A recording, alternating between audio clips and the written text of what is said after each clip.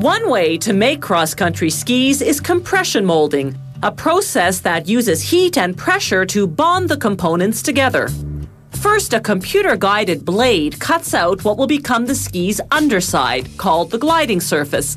It's made of pre assembled fiberglass laminate and polyethylene thermoplastic, a friction resistant material. They lay it into the bottom half of a mold, then glue on steel edges for grip. This spray makes the adhesive dry faster so that they can apply the principal adhesive, epoxy. A rubber shock absorber goes on the back, followed by a durable plastic reinforcement called the heel piece protector. The ski's wooden core is made of aspen and birch laminated together. Next comes a sheet of fiberglass impregnated with epoxy for extra reinforcement.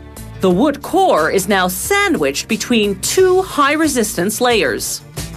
Then, for decoration, a plastic film with a silkscreen design. With everything now in the bottom half of the mold, they can clamp on the top and tape it up to ensure nothing shifts out of place. Then it's into a press that compresses the mold and heats it to 85 degrees Celsius. This activates the epoxy, hardening it in 12 to 15 minutes, depending on the thickness of the ski.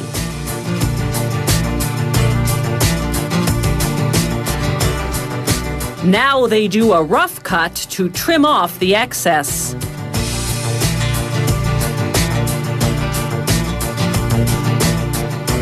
Then they sand all the edges until they're smooth.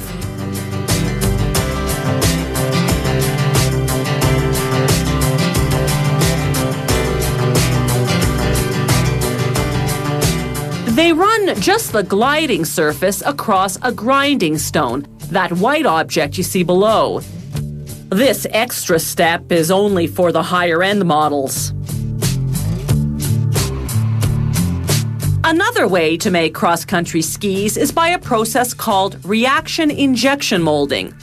First, they place the ski's top layer, a fiberglass epoxy sheet, in the mold. Then, the gliding surface, made of pre assembled fiberglass laminate and polyethylene with a high resistance backing. Instead of a wooden core in the middle, this press injects a super resilient plastic.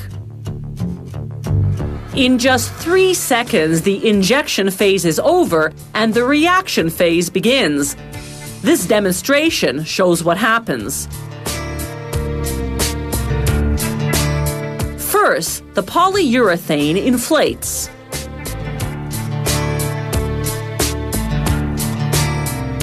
Then it hardens. After eight minutes, it's hardened enough to come out of the mold. They let the ski cure for up to eight hours, at which point it's strong enough to support the weight of a skier. So now these three components the top layer, the polyurethane middle, and the gliding surface are one. Now comes the finishing. First, they trim and bevel the edges. They sand the gliding surface. Then they carve a groove down its length. This gives the ski directional stability. All that's left to do now is decorate the skis. First, the background color in a quick drying solvent based lacquer. They apply the design manually, one color at a time using the silk screening process. A typical design consists of five to seven colors, including the background. To keep the skis looking vibrant, they protect the paint with a coat of transparent varnish.